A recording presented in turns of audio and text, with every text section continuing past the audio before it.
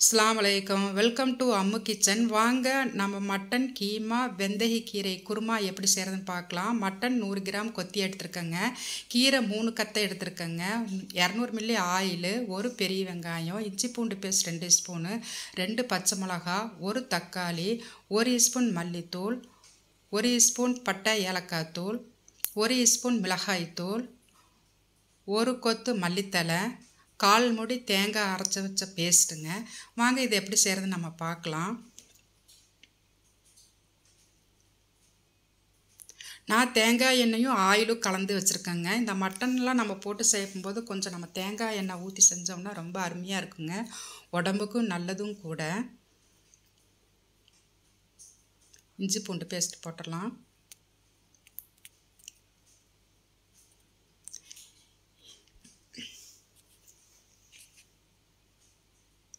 தக்காளி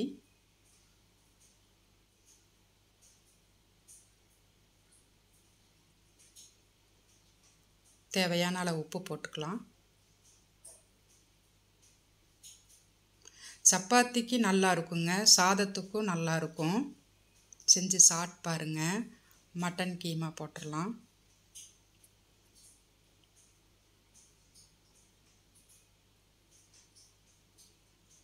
பட்டைத்தூள் மிளகாய்த்தூள் மல்லித்தூள்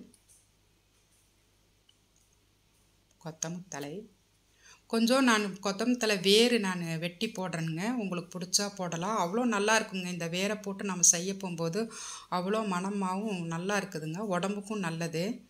கீரையை போட்டுடலாங்க. வெந்தயக்கீரை அவ்வளோ நல்லா டேஸ்ட்டாக இருக்குங்க. இந்த மட்டனோடு சேர்ந்து போட்டு சாப்பிட போகும்போது. மட்டன் பிடிக்காதவங்களும் இதே மசாலா கொடுத்து நம்ம வந்து இந்த கீரை போட்டு செஞ்சோம்னாலும் சூப்பராக இருக்குதுங்க. கொஞ்சம் கூட கசப்பே தெரியலைங்க. அவ்வளோ அருமையாக இருக்குது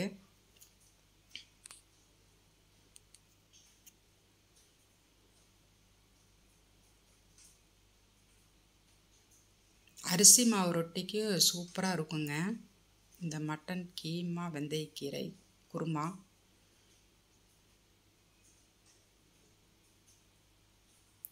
கடைசியாக நம்ம இந்த தேங்காய் அரைச்சி வச்சது நம்ம ஊற்றிடலாம்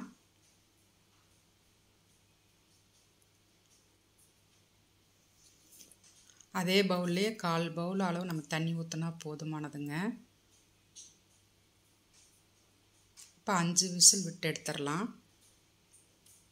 எங்கள் வீட்டு பிள்ளை பார்த்தீங்களா நான் அடுப்பில் வேலை செய்கிறத பார்த்துட்டு அவங்களும் வந்து என் கூட வந்து நின்று செய்கிறாங்க எப்போவுமே இந்த இவங்க இந்த மாதிரி தான் வந்து நின்றுக்குவாங்கங்க.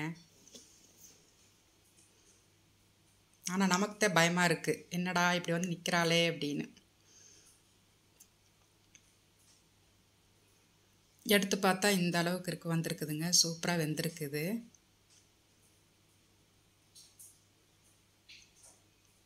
செஞ்சு சாப்பிட்டு பார்த்துட்டு எனக்கு கமெண்ட் பண்ணுங்கள் ஷேர் பண்ணுங்கள் லைக் பண்ணுங்கள் சப்ஸ்கிரைப் பண்ண மறந்துடாதீங்க